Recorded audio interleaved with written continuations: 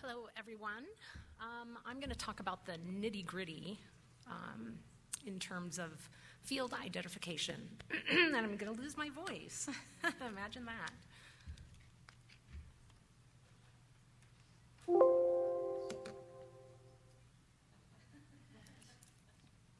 Okay, there we go. All right, let me take a drink first. Documentation, why is it important?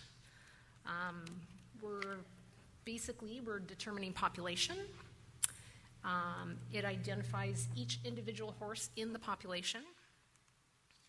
Um, it individually is going to track treated and untreated mares. Um, tracks foal recruitment. And we're identifying successes using PZP and missed opportunities or windows based on breeding season.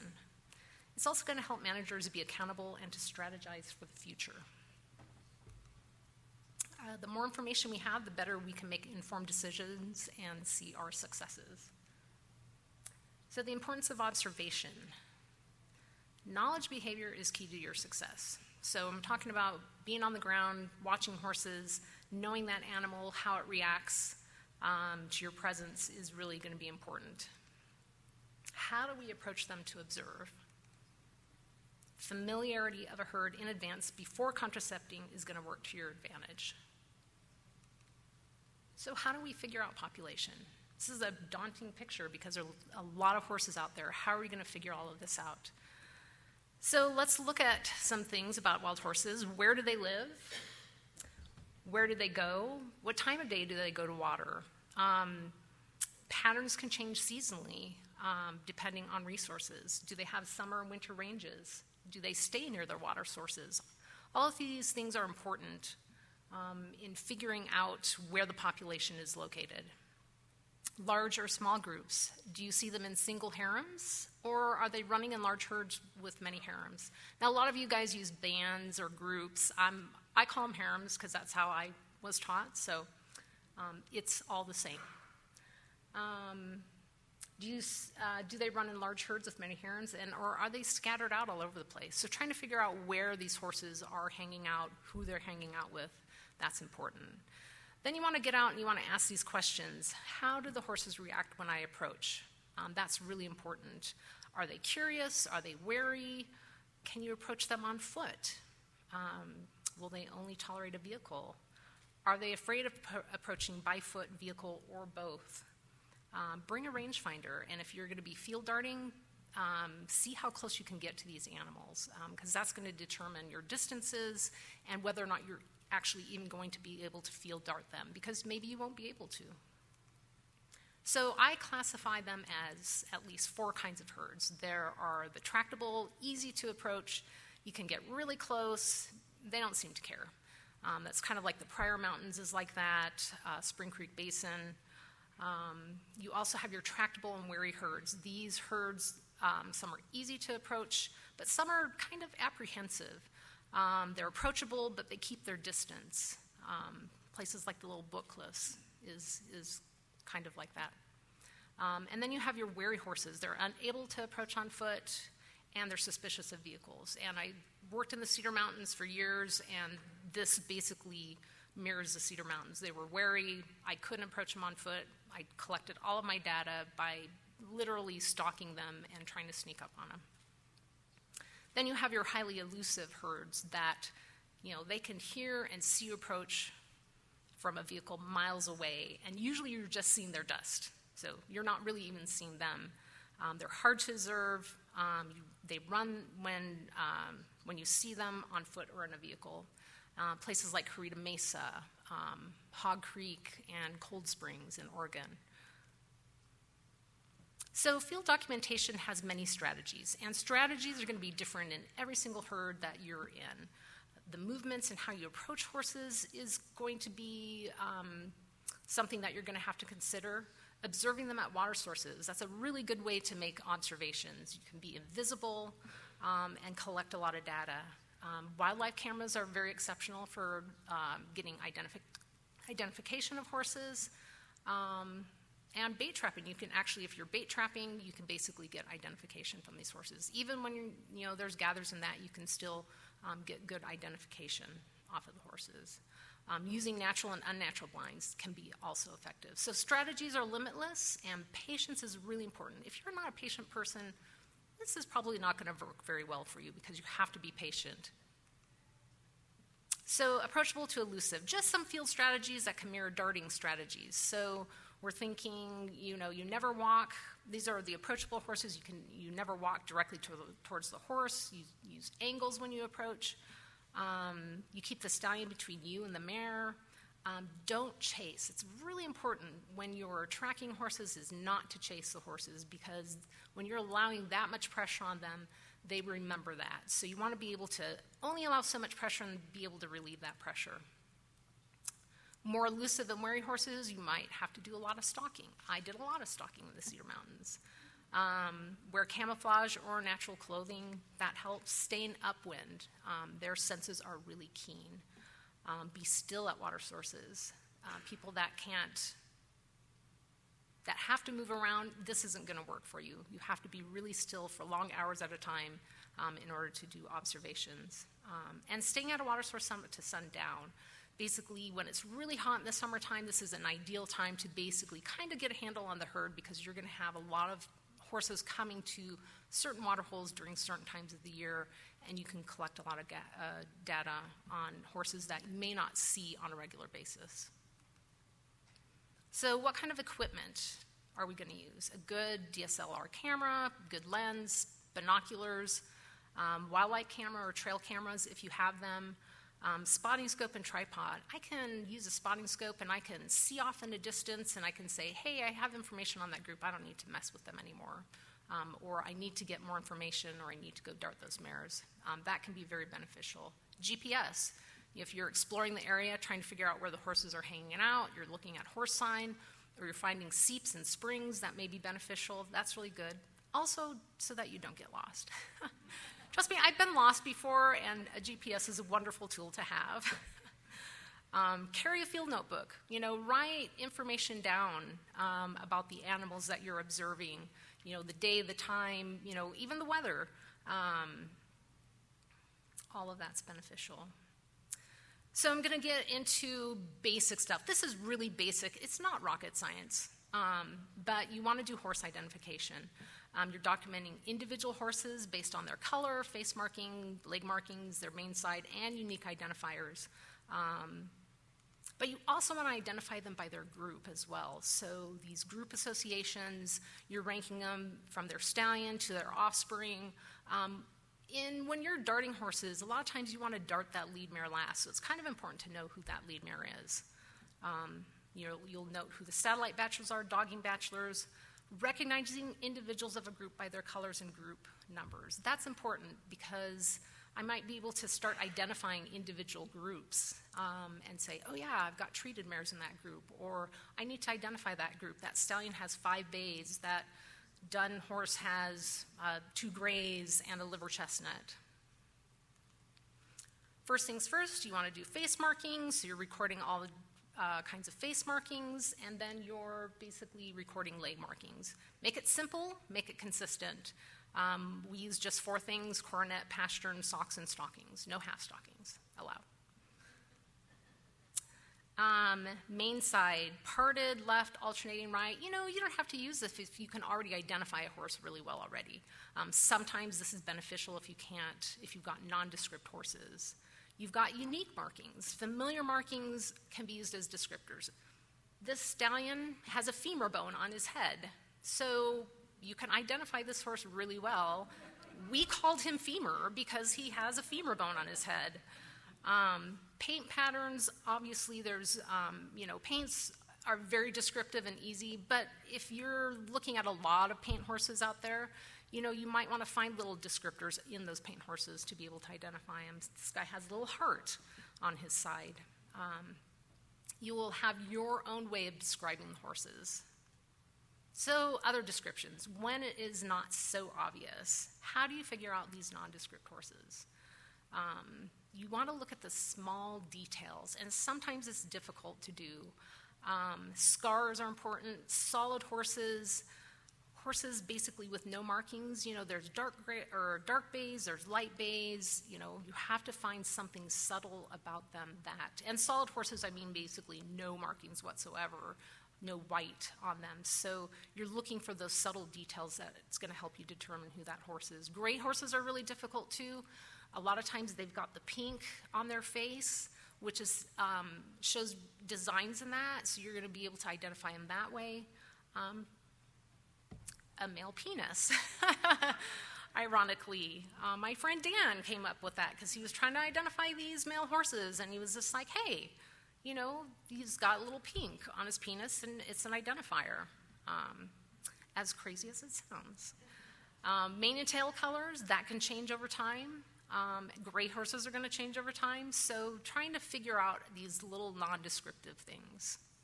Summer and winter coats summer and winter markings. So essentially, you know, those roan horses are going to change color during winter and summer. In the wintertime, you're going to have um, markings that become bigger and fuzzier and not defined, and then in the summertime, they're going to be crisp and clean. But you want to be able to identify that that's the same horse. You know, there's two horse heads here. What heads do those horses belong to? Can you identify them? That's, that's the key. You can ask me later, I'll tell you. Um, what I did in my experience, I created a horse list. Um, and it's an Excel spreadsheet. Basically, it's constantly changing document using the field to identify horses in their harems and individuals, and it's going to help you survey and monitor the population. Um, so I carried this horse list with me. Once I know those horses and that, I don't have to use this horse list that often. But I list it as gender and rank, color, markings, mane and tail, uh, year born if known, and then we always attach an identification um, to them, so a number identif- identifier. Um, and then location if that's critical or important. And this is what basically a horse survey would look, look like. Um, you can track the treated mares as well. The coloration is, are the treated mares, who the foals are, if there's any foals, um, individual horses. Um, what's important about it? Um, harems are listed by their hierarchy. It's, you start to recognize harems by the color and their size. It's a quick information um, about that harem. Um, how many are in the harem? Is anybody missing? Is there anybody new?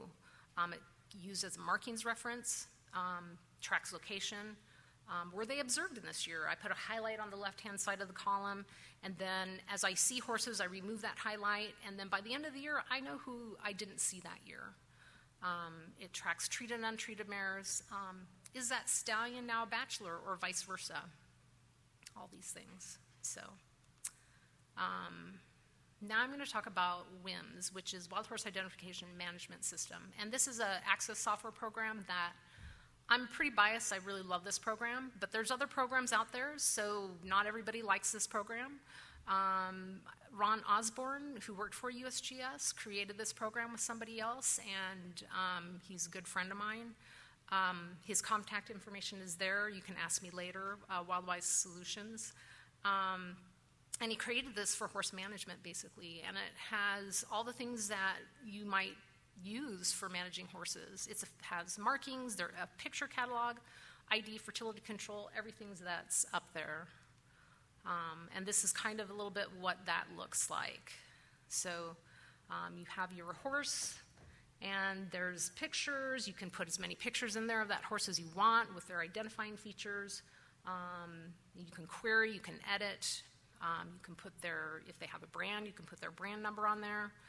Um, there's other markings. The thing I love about this program is the filtering. So the fact that I go out in the field, I see a horse, I'm like, I don't know who this horse is. I take pictures, I come back and I look and I'm like, okay, there's this bay with a star that has a right front pastern, and I'm going to look at that in Access. I'm going to query it, and it's going to bring up all those bays with stars with right front pasterns.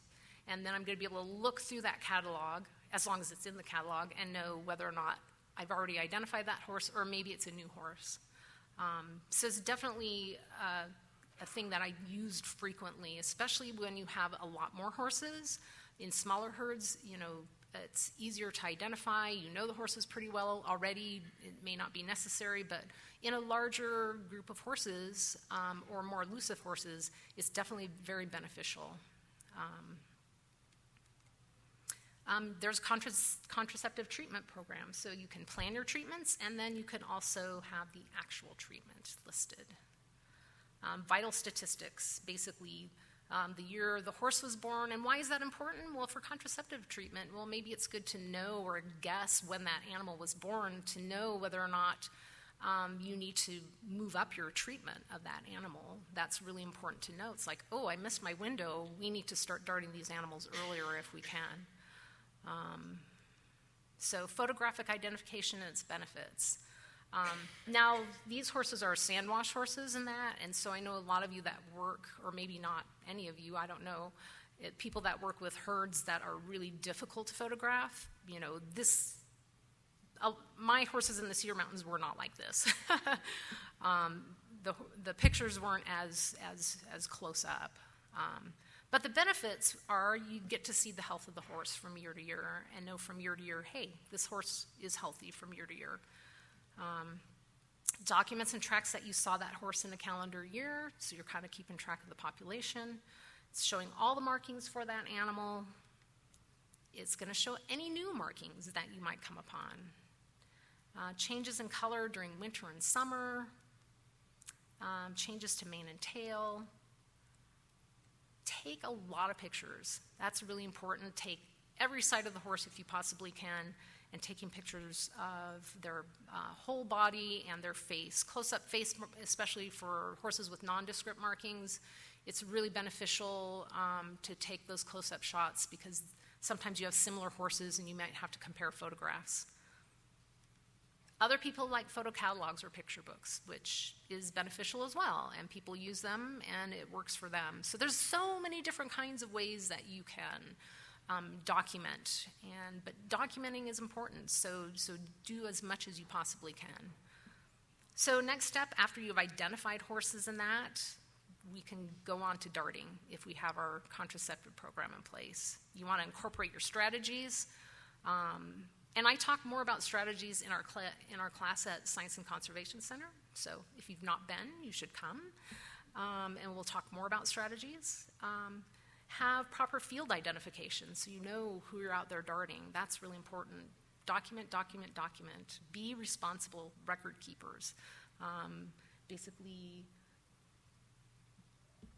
putting everything down about the darting event um, from time to dose, what the adjuvant, this is for PZP, delivery system, injection site, uh, vaccine number, lot number, you know, whether the dart functioned, you know, did that dart go off? That's really important. Um, you know, any reactions, and if there's a reproductive history. Not, you may not know um, all of the horse's reproductive history, but if you do, that's a benefit. That's definitely a benefit. What else can we observe and record? Um, population demographics, age classes, body condition scores, you know, mortalities, group associations, um, recording foals to mares to be able to identify um, the mares and their foals. Well, wait though, how can this even be accomplished? That's, it's really daunting. It's a lot of work, especially with your larger herds. Um, how is this even possible? I tracked horses in the Cedar Mountains for nine years, and um, it was challenging by far. Um, you know, I couldn't walk right up to these horses. I, it's like hunting. I spent a lot of time shimmying down gullies, hiding behind blades of grass and sagebrush, hoping that they wouldn't see me and run off, um, because they inevitably would if they saw me. Even if I was hiking at a distance and they saw me, sometimes they would just take off running. So I had to strategize on how I could get close enough to be able to photo document all of them. I spent a lot of time at waterholes, which was really important because um, I gathered a lot of information there. So there's so many different kinds of strategies. People are really creative on how um, they can do this work. So accept the possible, because it is possible. We can do this. Um, You've got dedicated managers and administrators, and hopefully they, they don't leave. Um, I'm going to use Assateague Island as an example. You have the same people that were managers and administrators, and when somebody left, that program didn't go away. It stayed in place, which is really important.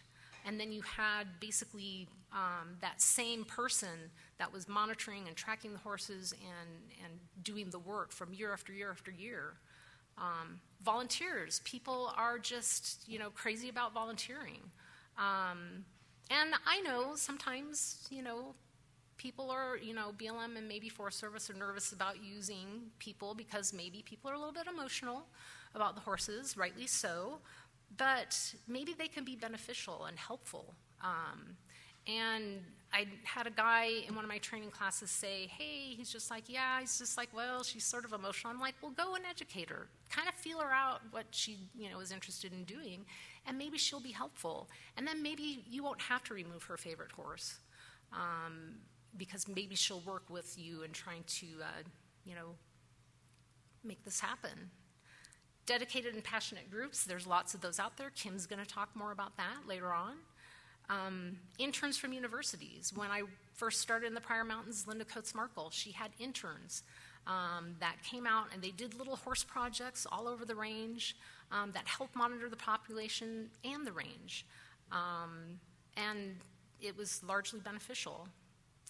I was a seasonal employee for years, and I love this type of work. This work was just really exciting to me, um, and so I really enjoyed it. So you could hire some seasonal employees, but I would have loved it to be my career. So consider creating full time jobs dedicated to this work. Um, I know budgets and, and that, but let's think positive and um, hopefully we can keep on going.